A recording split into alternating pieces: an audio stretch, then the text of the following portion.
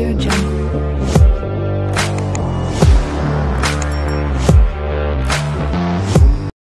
guys welcome back to my new YouTube channel और मैं आपको बताना चाहता हूँ कि मेरा नया चैनल आया है जिसको मैं ट्रैवलिंग ब्लॉग करने वाला हूँ। और अगर कभी कभी मिला तो फ़ूड ब्लॉगिंग करने वाला हूँ और कभी कभी मोटो ब्लॉग करने वाला हूँ।